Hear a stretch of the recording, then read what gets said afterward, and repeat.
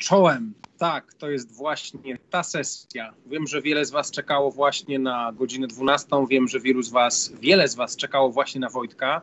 Mam ogromną, e, ogromną przyjemność e, zapowiedzieć Wam prezentację Wojtka Pilszaka, która zawsze jest jedną z najbardziej ciekawych i najwyżej ocenianych prezentacji na naszych Dniach Informatyki.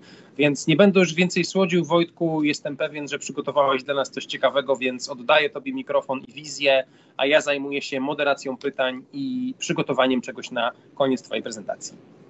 Dziękuję Ci bardzo. Dziękuję za ten wstęp. No, nie ukrywam, że y, jestem tak trochę zażenowany, no, nieprzyzwyczajony do słodzenia. A moja prezentacja będzie trochę inna od tego, z czym standardowo spotykacie się na WDI, bo jako grupa docelowa przyszłych specjalistów z technologii cyfrowych czy też z IT, niekoniecznie musicie zajmować się tym, co ja będę chciał zaproponować teraz. Natomiast e, uważam, że wpisuje się sama prezentacja w e, ideę imprezy, choćby z tego powodu, że od ludzi takich jak wy, ludzi zajmujących się technologią, tak naprawdę mających wpływ na kreowanie wszechświata obecnie, powinno się wymagać też umiejętności oceny rzeczywistości i to oceny takiej e, rzetelnej, bezstronnej i fachowej. I w sumie tego będzie dotyczyła moja prezentacja. Na początku taki mały disclaimer, jak to się ładnie mówi. Poglądy w prezentacji są moimi poglądami, znaczy jej autora. A sama prezentacja jest wyłącznie naukowa, więc gdyby ktoś z Was odebrał ją jako próby przemycania poglądów politycznych, e, społecznych czy jakichkolwiek innych moich, to nie jest to. Zostały wybrane przykłady w taki sposób, aby chyba wydaje mi się można było powiedzieć o tym, że staram się mówić bezstronnie. Natomiast ocena jak zwykle jest po waszej stronie. Mimo wszystko wolałem informacje o tym, jak i o tym, co pojawi się w samej prezentacji, umieścić na początku. Więc nie przedłużając już, trzy słowa na temat tego, o czym będę mówił. Nie jest to prezentacja techniczna, nie, chociaż może z takim małym akcentem technicznym, bo jednak e, sztuczna inteligencja i jej wykorzystanie na pewno się tutaj pojawi. Pojawi się też trochę kwestii związanych z internetem. Niemniej jednak nie jest to na pewno coś, co jest stricte technologiczne i skierowane do umysłów technicznych, bardziej mm, prezentacja z typu popularno-naukowych. Natomiast y, jej celem nie miało być przedstawianie Wam możliwości rozwiązań technicznych w zakresie tworzenia e, fake newsów, w zakresie wykrywania tych fake newsów, czy, czy, czy, czy generowania fałszywych informacji z wykorzystaniem rozwiązań deepfake. Bardziej chcę Wam pokazać, e, skąd się to bierze, jak do tego podchodzi się w chwili obecnej, dlaczego ludzie są podatni na te fake newsy i co można zrobić, żeby to nasze życie cyfrowe stało się takim trochę bardziej e, przejrzystym, czytelnym. Tym, którzy mnie nie znają, krótka informacja. Jestem byłym policjantem. Zajmowałem się kwestiami związanymi z cyberprzestępczością.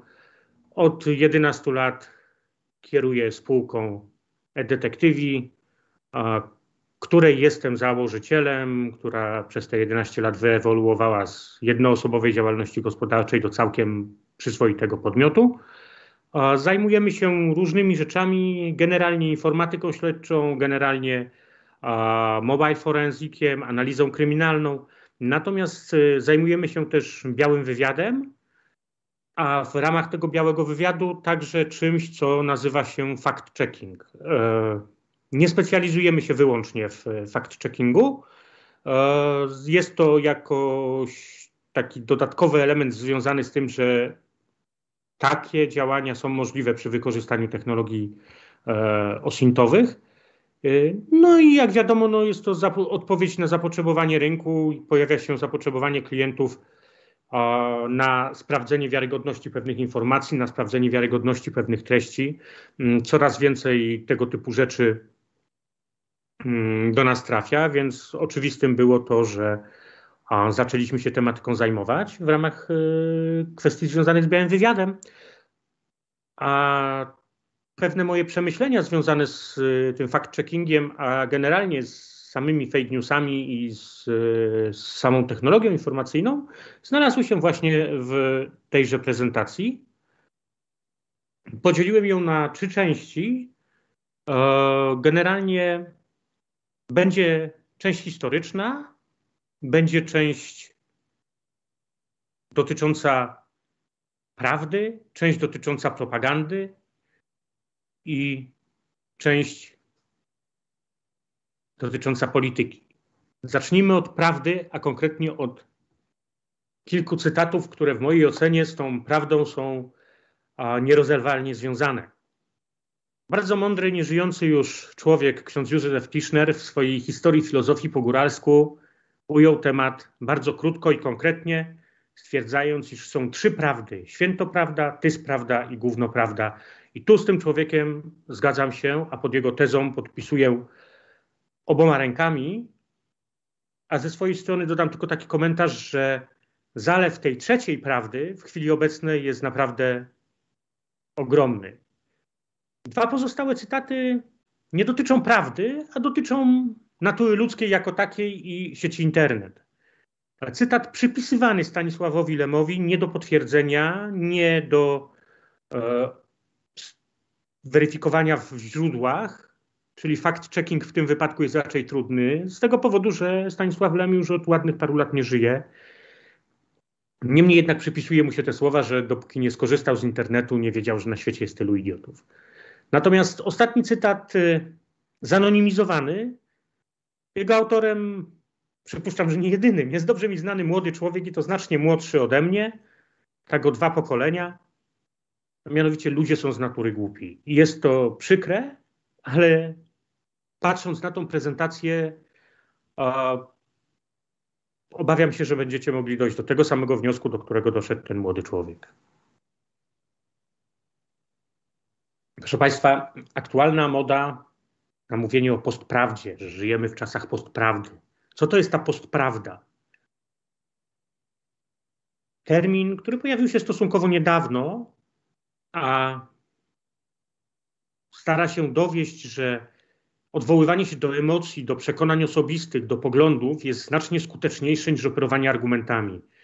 E, postprawda jako taka samą treść, samą wiedzę i prawdę stawia na pozycji przegranej, odwołując się do argumentów, odwołując się do emocji. To nie jest tak, że akurat obecnie e, pojawiły się nam czasy postprawdy, że społeczeństwo jest bardziej podatne na manipulacje, że odwołujemy się do emocji, a nie zwracamy uwagi na fakty. Mamy tylko dodatkowe możliwości. Y, dodatkowe możliwości w postaci technologii, w postaci szybkości rozprzestrzeniania informacji, a co za tym idzie, szybkości jej powielania, dotarcia do różnych grup, do różnych odbiorców. A specyficznym paliwem postprawdy są właśnie fake newsy. Samo założenie fake newsów, brak odwoływania się do argumentów, a granie na ludzkich emocjach, bardziej lub mniej. Niemniej jednak, jak sama nazwa wskazuje, fake news nie jest informacją prawdziwą. On niesie jakąś informację, natomiast bardzo rzadko jest to informacja, która z prawdą, z rzetelną informacją ma coś wspólnego. Żeby nie było, to te nasze fake newsy nie biorą się tak znikąd i nie trafiają do nikogo, bo taki mamy klimat, jak mawia klasyk. Wyniki badań, które widzicie na ekranie, wyniki badań a, zrealizowanych w różnych latach przez y, angielskiego, tak w dużym skrócie, regulatora telekomunikacyjnego, czyli Ofcom, dowodzą dosyć ciekawych informacji, y, prowadzą do ciekawych wniosków. Zauważcie, że według ich badań co czwarty użytkownik serwisów społecznościowych w żaden sposób nie weryfikuje treści, do których ma dostęp w social mediach. No, tak spójrzcie na swoje zachowania, otrzymujecie tony wiadomości poprzez różnego rodzaju komunikatory, poprzez różnego rodzaju um, źródła, czy będzie to Facebook, czy będzie to WhatsApp, czy będzie to Telegram, czy jakikolwiek inny komunikator, czy będzie to wall w serwisie społecznościowym, pojawiają się tam informacje, które tak naprawdę w 99% przypadków nie są przez Was w żaden sposób weryfikowane. Pół biedy, jeżeli są to te klasyczne koty, czy, czy też inne śmieszne filmiki. Gorzej, jeżeli pojawiają się informacje, które mogą komuś uczynić krzywdę, mogą kogoś zdyskredytować, mogą spowodować, że zostanie zmieniona optyka postrzegania tej osoby czy jej, jej działań. A wszystko to w żaden sposób nieweryfikowane, niesprawdzone, podane po prostu dalej. Połowa użytkowników sieci nie wie, kto odpowiada za główne wyszukiwarki treści w sieci internet. I to jest cokolwiek dziwne, bo narzędzie, które jest podstawowym narzędziem, mm, z którego korzystamy w sieci, powinno być przynajmniej w, w podstawowym zakresie rozpoznane. Tak, następna informacja jest znacznie gorsza. Połowa osób potrafi odróżnić informację od treści reklamowej. Czyli dru druga ta nasza połowa użytkowników internetu nie odróżnia treści reklamowej od treści informacyjnej. No i to, co mnie najbardziej przeraziło, gdy zbierałem materiał do tej prezentacji, 18% użytkowników internetu twierdzi, że treści wyświetlone przez wyszukiwarkę są dokładne i uwaga, bezstronne. Szczególnie to bezstronne mnie zafascynowało. Jednakże jest światełko w tunelu, ponieważ parę lat temu było to 23% użytkowników, czyli spada liczba osób wierząca w tezę, że jeżeli coś zostało na, na podane w internecie, to na pewno jest prawdziwe. Dla porównania, e, gdybyście zapytali swoje babcie, a może prababcie, o pochodzenie pewnych informacji i o, o ich wiarygodność, zapewne uzyskalibyście y, podobne argumentowanie, że coś jest prawdziwe, tylko jakby źródło byłoby inne. Nie byłby to internet, a na przykład gazeta, bo kiedyś coś zostało napisane w gazecie, to na pewno musi być prawda, przecież w gazetach nie mogą kłamać. A gdybyście się cofnęli jeszcze dalej, czyli do tych waszych prababci czy pradziadków, to dowiedzielibyście się, że jeżeli powiedział to ksiądz na ambonie, to musi to być prawda. Ponieważ było to tak naprawdę jedyne jakiekolwiek źródło informacji, a ksiądz był człowiekiem uczonym, nawet bywał dalej w świecie niż ta wioska, w której miał e, parafię. Zatem on nie mógł po prostu nie wiedzieć, co mówi. To musiała być prawda. Na chwilę obecną tego naszego księdza i później gazety zastąpiły wyszukiwarki, a przynajmniej dla 18% użytkowników sieci. Więc jak widzicie, fake newsy na podatny grunt trafiać mogą bez jakiegoś większego problemu. Żeby nie było, że fake newsy to nagle się pojawiły, jak pojawił się internet, jak pojawił się e, boom technologiczny i możliwość przesyłania szybkiego informacji i agregacji tych informacji z różnych źródeł. Ten gość, taki sympatyczny facet w wloczkach, chociaż to chyba jest peruka, to Jonathan Swift. Jest on twórcą, a może nie twórcą, ile w jego wypadku zostało to e, sformułowanie zapisane, potem przez wielu modyfikowane, zmieniane. Natomiast przedstawił taką tezę kłamstwo frunie, zanim powoli kuśtyka prawda. A było w roku 1710. Mark Twain, któremu przypisuje się słowa kłamstwo obiegnie świat, zanim prawda zdąży wciągnąć buty, tylko tak naprawdę zmodyfikował to twierdzenie. E, to tylko dla tych, którzy myślą, że fake newsy to coś, co jest związane z naszym współczesnym społeczeństwem. Gdybyśmy sięgnęli troszeczkę do historii, już nie zagłębiając się w historię starożytną, ale tak całkiem powiedzmy dawną, wiek XVIII, ojciec założyciel Stanów Zjednoczonych, Benjamin Franklin. Nie wiem, ilu z Was wie, że był to taki ściemniacz i kombinator, że tak naprawdę na chwilę obecną nawet twórcy fake newsów mogliby się od niego uczyć. To, że potrafił uśmiercić konkurenta politycznego, umieszczając stosowny, e, przepraszam, biznesowego, nie politycznego, wtedy to jeszcze był jego biznes, nie polityka, a umieszczając stosowny nekrolog, to, że potrafił spreparować e, określone wystąpienia określonych osób, umieszczając je w gazetach, to tak naprawdę był tylko wierzchołek tego, czym ten człowiek potrafił się zająć. Gdyby popatrzeć na to z perspektywy tak czasu, śmiało można by go było nazwać ojcem założycielem, ojcem współczesnych fake newsów i technologii ich produk produkowania.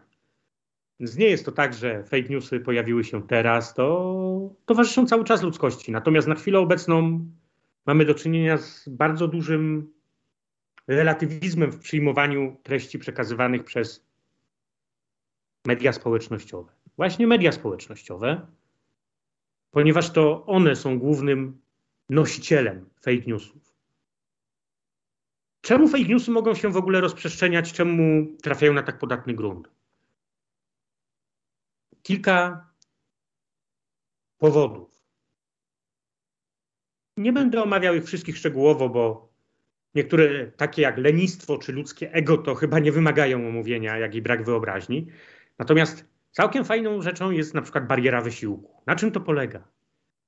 Ludziom nie chce się sprawdzać, no bo są leniwi, pochodzenia wiadomości i weryfikowania ich, a dobry kłamca tak tworzy wiadomość, żeby nie chciało się odbiorcy zweryfikować jej a, pochodzenia, jej wiarygodności. Spójrzcie, gdybyście na przykład w waszym CV umieścili informację, że a, jesteście świetnym programistą z y, jakiegoś bardzo niszowego y, języka programowania. Tak naprawdę ilu mm, headhunterów, ilu y, waszych rozmówców podczas rozmowy o pracę będzie w stanie to zweryfikować? Bariera wysiłku, która zostaje wtedy przedstawiona, jest tak duża, że przejdą oni nad tym do porządku dziennego. No, pewno, pewno rzeczywiście, skoro napisał, to tak jest. Tak samo jest w przypadku próżni informacyjnej. Nikt z nas nie jest genialny, nikt z nas nie wie wszystkiego o wszystkim. Dużo więcej rzeczy nie wiemy niż wiemy. Więc jeżeli pojawi się nam jakaś informacja, to nawet nie weryfikując jej, kotwiczymy, nasz mózg kotwiczy przy niej, y, wypełnia naszą próżnię informacyjną w jakimś zakresie i potem nawet jeżeli ta informacja okazuje się fałszywą, to z założenia nie chce nam się, mózg, nie, mózg odrzuca wersję taką, żeby ta, ta informacja została sklasyfikowana jako fałszywa, traktując ją jako prawdziwą, jako jakby pierwszą informację o określonej rzeczy, która do nas dotarła. No oczywiście ludzkie lenistwo gra przy tym niebagatelną rolę. Sprzężenie zwrotne. Sprzężenie zwrotne kłamstwa coś, co jest bardzo popularne, coś, co się bardzo często spotyka. Yy, widzicie to w tych wiadomościach przesyłanych w komunikatorach. Jeżeli osoba A wyśle do Was wiadomość oraz do osoby B i C, i Wy nawet nie wierzycie tej osobie A, a następnie osoba B wyśle do Was wiadomość, tą, którą otrzymała od osoby A, i osoba C wyśle do Was tą samą wiadomość, to tak naprawdę wystąpi sprzężenie zwrotne kłamstwa. W żadnym wypadku nie zweryfikowaliście tej wiadomości, ale w waszym mózgu pojawiło się twierdzenie, że skoro od innych źródeł otrzymujecie tą samą wiadomość, to musi ona być prawdą. Mimo, że nie wierzycie w wiadomość przekazaną od osoby A z różnych powodów, uwiarygadniacie tąże samą wiadomość otrzymaną od osoby B, osoby C czy też innej, powodując, że w waszym mózgu kłamstwo zalęga się i obrasta w piórka prawdy.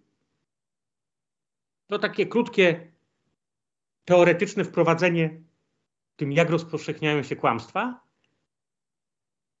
a jak się rozpowszechniają przez social media, pokażę Wam na prostym przykładzie za momencik.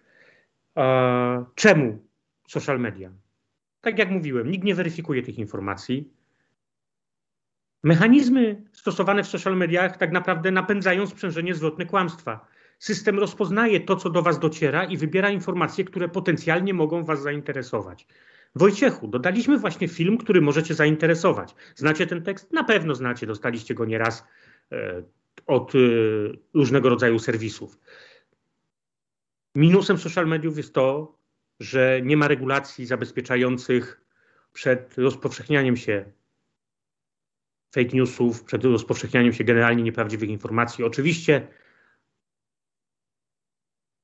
podmioty zarządzające starają się i w ostatnich czasach coraz bardziej się starają e, kontrolować to, jakiego rodzaju informacje są rozpowszechniane. Niemniej jednak e, same mechanizmy, a raczej ich brak, e, zabezpieczających przed fake newsami powoduje, że media społecznościowe są naprawdę świetnym kanałem rozpowszechniania się fake newsów.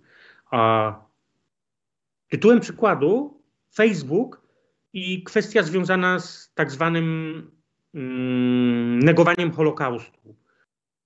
Jeszcze całkiem niedawno Facebook, y, powołując się na wolność słowa, nie usuwał y, wpisów negujących Holokaust, mimo że w bardzo wielu krajach, y, chyba w 18, jak mnie pamięć nie myli, ale nie, nie będę tutaj upierał się przy tym poglądzie, termin y, negacji Holokaustu jest, y, przypadki negacji Holokaustu są ścigane karnie.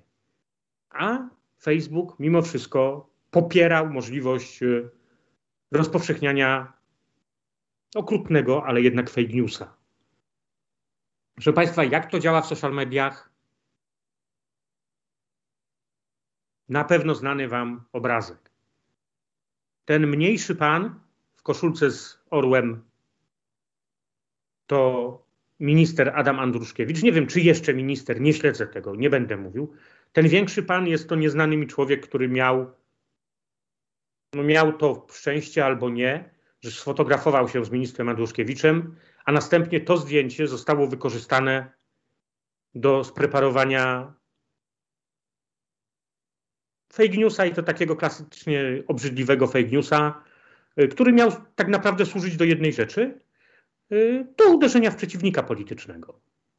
To pokazuje powiązanie fake newsów bardzo ścisłe z polityką. Natomiast zauważcie ciekawą rzecz. To zmanipulowane zdjęcie y, ministra udostępnili innymi były minister sprawiedliwości Borys Budka, były wicepremier, dziennikarz mainstreamowy, socjolog i artystka Najbardziej fascynujące jest to, że nigdzie nie udało mi się znaleźć yy, przeprosin po umieszczeniu tych tekstów. To tylko dowodzi poziomu naszej sceny politycznej osób uchodzących za jakieś, a przynajmniej chcących uchodzić za jakieś elity. Nikt nie potrafił przeprosić, niezależnie od tego, czy ktoś pana Andruszkiewicza szanuje, czy go nie szanuje, czy, czy, czy, czy go uważa za spoko gościa, czy też przeciwnie po umieszczeniu takiego zdjęcia nikt nie osiągnął tego poziomu, żeby uderzyć się w piersi przeprosić, że stałem się ofiarą fake newsa. Inna sprawa to ten człowiek, któremu dorobiono tą koszulkę ze swastyką, bo to już jest całkowicie prywatna osoba i ktoś produkując taki materiał spowodował zaszufladkowanie tego człowieka do określonej grupy, określonych ludzi. Jeden przykład w tym momencie, troszkę innych przykładów będzie troszkę dalej. Tu mamy akurat politykę. Coś, co jest związane z polityką, czyli przechodzimy do części drugiej propaganda. Skąd się to bierze? Informacje błędne czy dezinformacje? Czy propaganda jest tylko informacją błędną? To jest takie zestawienie, podział taki powiedzmy bardzo ogólny. Czym różni się informacja błędna od de dezinformacji? Wśród informacji błędnej znajdziecie clickbaita. Odpalacie internet, odpalacie pierwszy z brzegu serwis i co widzicie? Że internet wrze. Albo to niesamowite, co ktoś z użytkowników zrobił. Wszystko po to, aby kliknąć, aby dać zarobić a potem okazuje się, że ten internet nie, nawet nie wrze, a nawet nie jest letni, jeśli chodzi o temperaturę. Ktoś coś tam zrobił, co tak naprawdę dzieje się codziennie, ale kliknięcie jest zaliczone, wykorzystane do tego, aby można było zarobić dodatkowe pieniądze na wyświetlającej się reklamie, na wyświetlających się treściach. Znacznie gorsza jest dezinformacja i z tym mamy do czynienia ostatnimi czasy częściej, bo zarówno wykorzystuje się w niej technologię deepfake, bardzo często jest ona sponsorowana przez państwo. Ja nie mówię, że przez każde, natomiast są państwa, które duże pieniądze wkładają w dezinformację, o czym za chwileczkę, i jest ukierunkowana na to, aby dzielić. Jak wiadomo, skłóconymi narodami najlepiej się rządzi. Biorąc poprawkę na to, co możemy obserwować na polskiej scenie politycznej, to rzeczywiście dezinformacja to główna broń w rękach oponentów politycznych.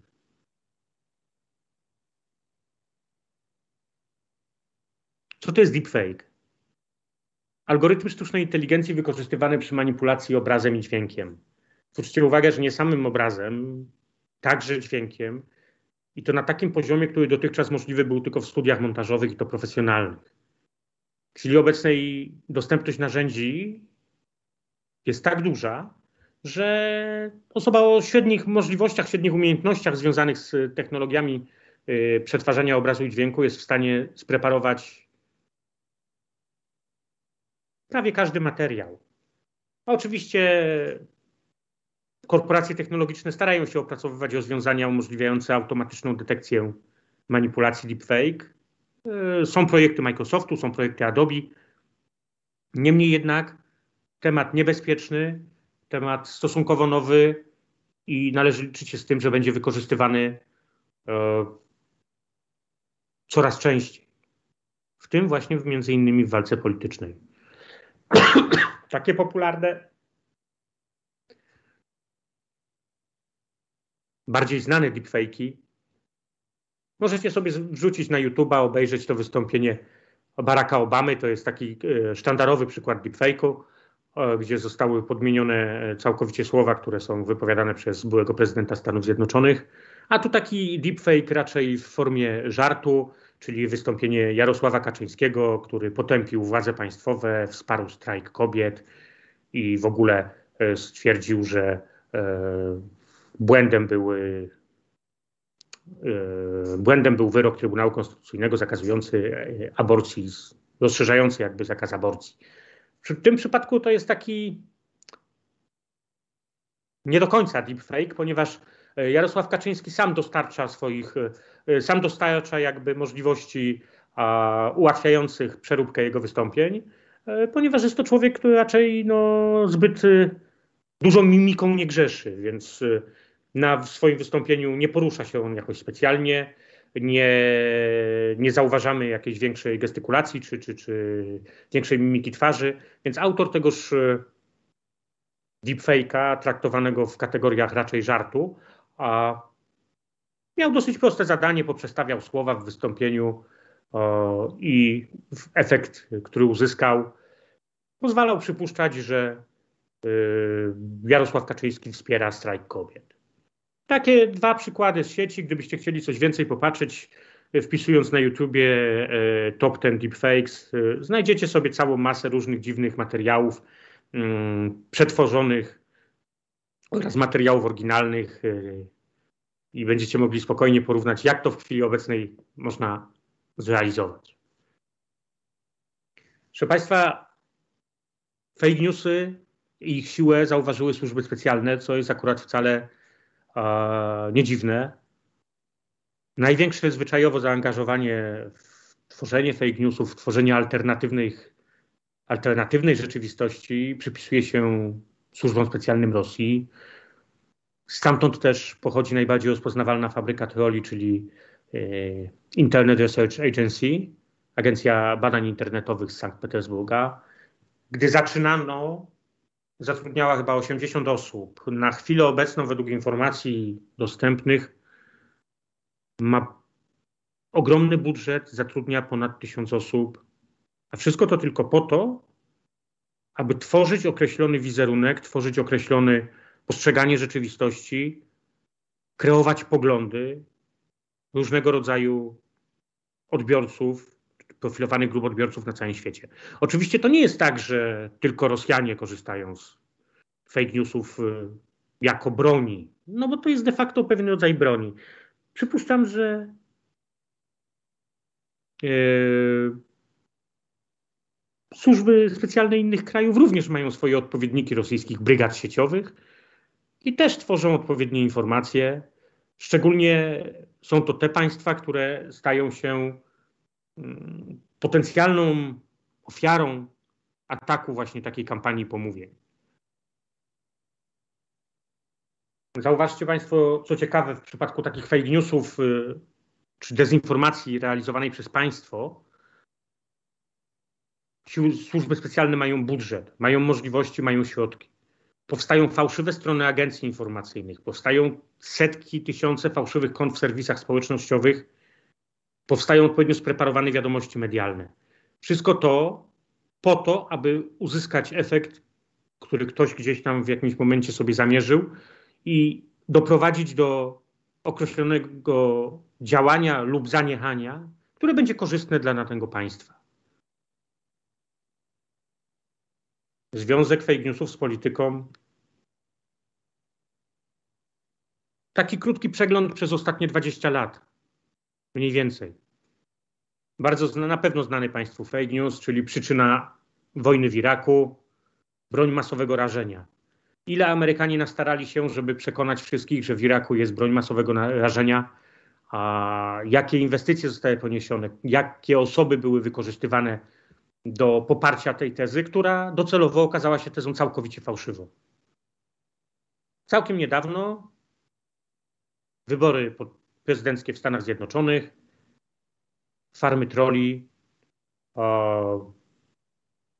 efekt końcowy. Nie wszyscy są przekonani, że tak naprawdę Amerykanie wybrali wówczas swojego prezydenta. Jeszcze bliżej w czasie Arkadii Babczenka, czyli zabójstwo dysydenta rosyjskiego przebywającego na Ukrainie, powielone przez e, wszystkie duże liczące się, informacja o tym powielona została przez wszystkie duże liczące się agencje medialne. Okazuje się, że były to działania służby specjalnej Ukrainy, e, mające na celu wykazanie, iż za usiłowaniem zabójstwa Arkadija Babczenki, które zostało sfingowane, stoją rosyjskie służby specjalne. Efekt końcowy wydaje mi się był bardziej szkodliwy dla Ukrainy niż dla Rosji. Niemniej jednak kolejny przykład takiego dużego fake newsa e, zrealizowanego z rozmachem. No, Pizzagate i ruch Quanon, rzeczy, że też tak powiem, chyba funkcjonujące w świadomości każdego, kto ma do czynienia z e, technologią, z IT, z internetem. Pizzagate, czyli Mm, teoria spiskowa zakładająca, że Hillary Clinton oraz y, znani amerykańscy politycy, biznesmeni wykorzystują dzieci, a informacje przesyłane są pod pozorem zamówień y, pizzy. O mały włos nie skończyło się to tragedią, gdy uzbrojony zwolennik teorii wtargnął do pizzerii, która miała być punktem kontaktowym. E, chciał uwolnić przetrzymywane tam i wykorzystywane dzieci. Ruch QAnon klasyczny, a może nie klasyczny, idealny przykład socjotechniki, jakieś tam treści, bzdury, wyrywane z kontekstu, wielokrotne znaczenia umieszczane w różnego rodzaju serwisach informacyjnych, mające rzekomo wskazać, że prezydent Stanów Zjednoczonych walczy z międzynarodową siatką próbującą y, obalić Stany Zjednoczone i zniszczyć kraj. No generalnie fikcja jakich mało, ale E, bardzo nośna medialnie, a szczególnie socjalmedialnie, bardzo popularna w wielu krajach. Z takich ciekawostek dosyć popularny ruch Quanon jest w Niemczech. Jest to bardzo dziwne w mojej ocenie. Niemcy jako uporządkowany, zorganizowany, poważny naród, y, raczej z wątpliwymi tendencjami do żartów czy, czy, czy wiary w nie wiadomo co, a jednak duża część użytkowników sieci wierzy w treści przekazywane w ramach tego informacji ruchu QAnon. Taki wzorzec postaci ruchu QAnon to jest ten pan, którego widzicie w tle tego slajdu. Zapewne widzieliście go podczas ataku na Kapitol. szaman Quanon. No cóż, czyż rzeczywiście nie są prawdą te słowa przypisywane Stanisławowi Lemowi, że nie wiedzieliśmy, ilu mamy, z iloma głupcami mamy do czynienia do momentu, dopóki nie weszliśmy do sieci internet? A żeby nie było, że to tylko sprawy światowe, i masoneria i w ogóle zorganizowane siatki pedofilskie. Nasze lokalne podwórko może trochę mniejsze, ale 2017 rok, Farmatroli, Twitter, Facebook, fake newsy do, służące do dyskredytacji przeciwników politycznych, 10 tysięcy kont botów na Twitterze w trakcie wyborów prezydenta Warszawy, boty i fake newsy na poziomie walki politycznej wyborów wójtów i burmistrzów. No i to, że partie polityczne coraz częściej chcą i mogą sterować dyskusją polityczną w sieci. I robią to całkowicie bezkarnie, bez jakiegokolwiek e, poszanowania choćby nawet naszej inteligencji. Bo ja już nie mówię, żeby szanować czyjeś poglądy, bo to tego się po naszych partiach politycznych nie spodziewam wcale. Natomiast szanujcie chociaż naszą inteligencję. Naprawdę nie jesteśmy tak głupi. Dla zainteresowanych tematem kwestia pogłębienia może wiedzy. Jedno to dokument pana Roberta Gorwy z, przygotowany na Uniwersytecie Oksfordzkim, dotyczący właśnie y, kwestii mm, propagandy, kwestii botów w polskim internecie, czy też w, ciężko mi mówić o czymś takim jak polski internet oczywiście, jakby tak w zasięgu polskiej sieci, a drugi to dokument z Helsińskiej Fundacji Praw Człowieka e, dotyczący fake newsów i dezinformacji w kampaniach wyborczych w Polsce. Polecam. Ciekawe wnioski, ciekawe spostrzeżenia. To tak w kwestii rozszerzenia tematu. Dobrze, proszę Państwa. Obiecywałem przykłady, na koniec trzy przykłady. Tak w sumie starałem się wybrać przykłady łagodne. Łagodne, yy, pokazać mniej więcej, w którą stronę ich twórcy idą i, i, i pokazać, do czego miały być wykorzystane. Przykład pierwszy, czyli pan minister Warchoł, o projekcie dotyczącym braku możliwości odmowy przyjęcia mandatów. Link, skąd materiał, data jego pochodzenia.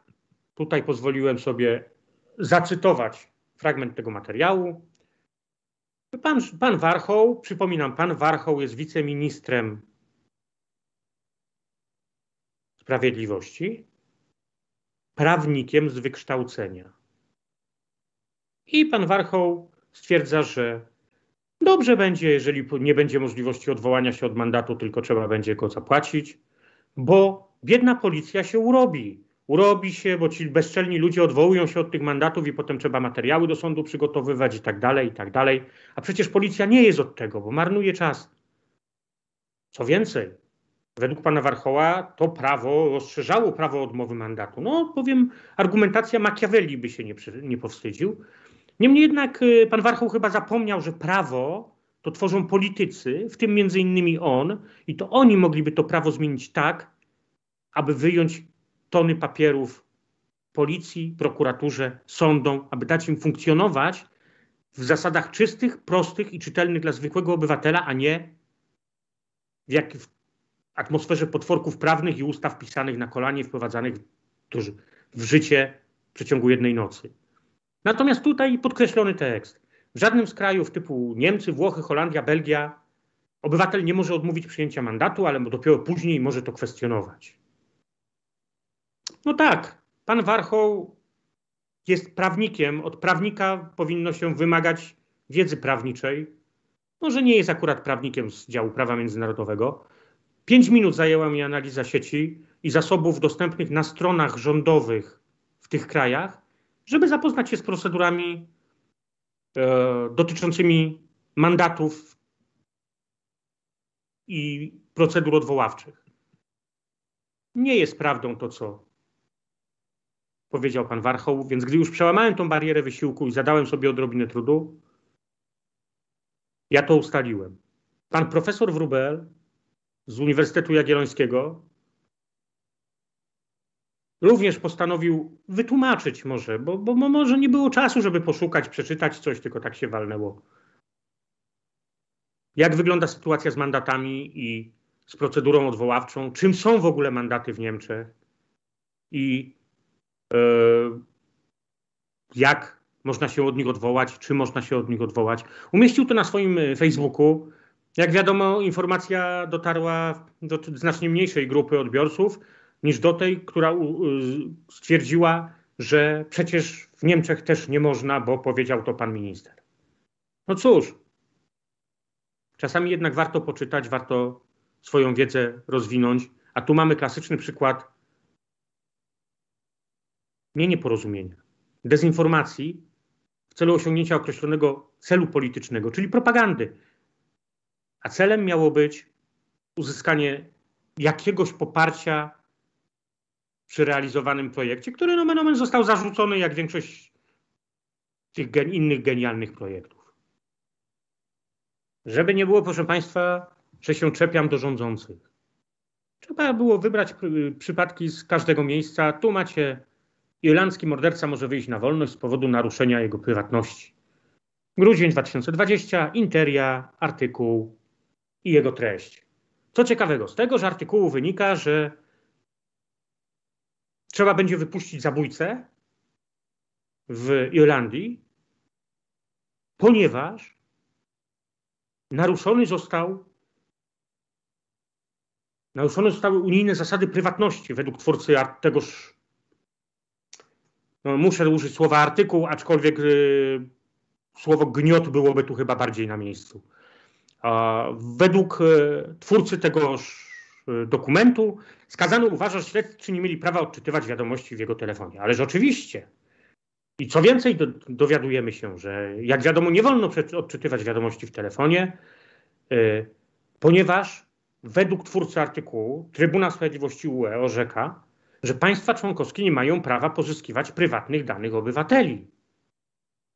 No powiem wam, zafascynowało mnie to.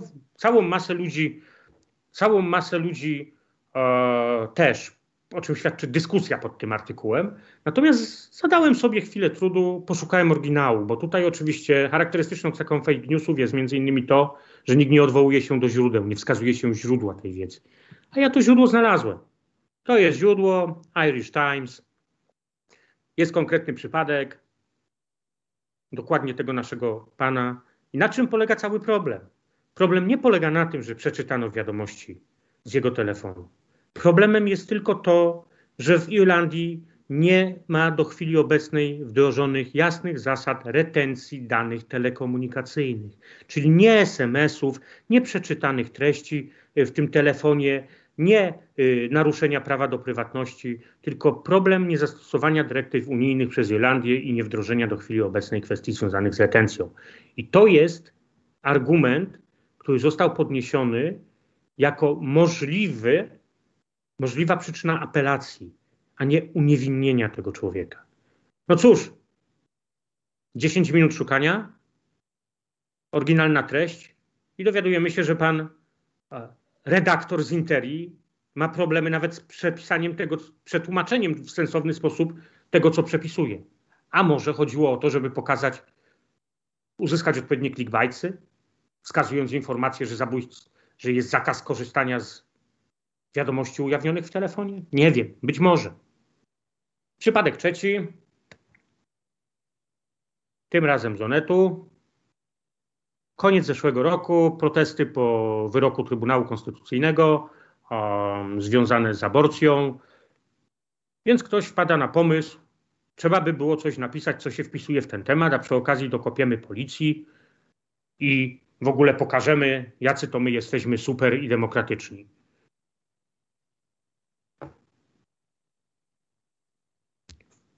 Jakieś tam federacje, federacja, jakieś organizacje yy, zajmujące się kwestiami aborcyjnymi, nie wnikam w tematykę, czym zajmują się te instytucje, dostają zgłoszenia od kobiet, które zakupiły środki do aborcji farmakologicznej, dostają wezwanie na policję i mają zeznawać w sprawie zakupu środków poronnych i tak dalej, i tak dalej. Y, Otrzymują to, te informacje kobiety, które w ostatnich dwóch latach kupiły środki do przeprowadzenia aborcji farmakologicznej w domu. No i oczywiście ktoś musiał politycznie to zrobić, one wiedzą lepiej, że ktoś na górze podjął taką decyzję, żeby zacząć nagonkę na te biedne kobiety. Temat się wpisuje świetnie w protesty, więc będzie ładny artykuł. Ale gdy przeczytamy ten artykuł, dowiadujemy się, że są to czynności realizowane przez policję. I nawet patrząc na to coś, co zostało tak przetworzone w tym artykule, żeby jak najmniej informacji sensownych przekazać, wynika z tego, że policjanci wykonują czynności zlecone dla innych jednostek w Polsce, z jakiejś innej jednostki w Polsce, dotyczące jak kupiono, przez jaki portal, czy był kontakt z właścicielem strony, jakie to były tabletki, czy była instrukcja, jak zapłacono, co zrobiono z tabletkami. Redakcja zapytała Komendy Głównej o przyczynę prowadzenia przez policję takich czynności, a rzecznik Komendy Głównej odpisał, odmówił odpowiedzi, bo napisał, że pytania są ogólne. Jakby redakcja nie wiedziała, policja prowadzi takie czynności, bo może i są to czynności w ramach postępowań przygotowawczych. A gdyby redakcja zajrzała do internetu, to zobaczyłaby coś takiego. Na przykład. I te panie, które kupiły te środki, które były różnymi dziwnymi produktami, nikt nie organizował na nie nagonki. To nie była zorganizowana z góry akcja przeciwko grupom kobiet protestującym przeciwko łamaniu ich praw. To były zwykłe czynności procesowe wykonywane przez organy ścigania w ramach toczącego się postępowania przygotowawczego. Proste, aż za proste. Ale przecież dużo łatwiej można wpisać to w kontekst nagonki na kobiety i na prawa człowieka. Proszę Państwa, fake newsy nie mają barw politycznych, nie mają przekonań. Każdy, kto tylko może, korzysta z tego dla osiągnięcia określonych celów. W związku z tym, jak to piszą bardzo często w niebezpieczniku, co robić i jak żyć. Cóż, przede wszystkim przełamujcie bariery wysiłku. Klasyczny przykład przełamania bariery wysiłku. Macie link, macie artykuł. Pierwszy judoka i zobaczcie, mit kolonisty brytyjskiego, który każe się nosić na plecach lokalsowi. Przeczytajcie artykuł. Fenomenalny artykuł, fenomenalny temat, świetne podejście i naprawdę efekt końcowy całkowicie odmienny od tego, co możemy przypuszczać, patrząc na obrazek. Korzystajcie z narzędzi. Uniwersytet Clemson hub tak zwany, cała masa fajnych, darmowych narzędzi pozwalających na identyfikowanie treści, na rozpoznawanie fake newsów, na gromadzenie informacji. Zadajcie sobie tą odrobinę trudu, przełamując barierę wysiłku i sprawdźcie, skąd pochodzą informacje. Bo to, że wszyscy tak mówią, to nie znaczy, że jest prawdą. Jak chcecie sprawdzić, czy potraficie rozpoznać fake newsa, zajrzyjcie na tą stronę Spróbujcie zlokalizować zdjęcia, czas ich wykonania. Bardzo fajna zabawa i naprawdę rozwija umiejętność postrzegania i obserwacji. Jak to mawiał Sherlock Holmes, to, że patrzysz, nie znaczy wcale, że obserwujesz. I kolejna taka stronka pokazująca możliwość wykrywania fake newsów, i możliwość poćwiczenia sobie, co fake newsem jest, a co nim nie jest. Natomiast generalnie jednak pierwszym waszym krokiem musi być przełamanie bariery wysiłku. A że jesteście najczęściej młodymi ludźmi, którzy zaczynają swoją karierę teraz,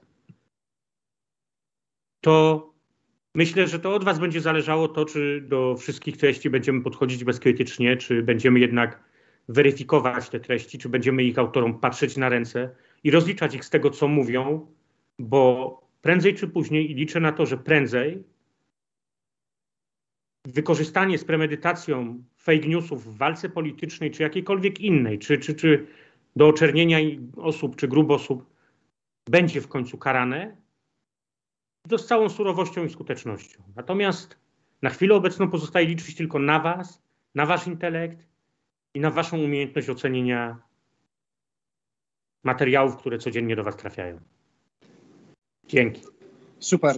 Wojtku, bardzo dziękujemy za prezentację, bardzo dziękujemy za przykłady. E, niestety wypełniłeś szczelnie czas, więc pytania pozostaną dla kolejne spotkania.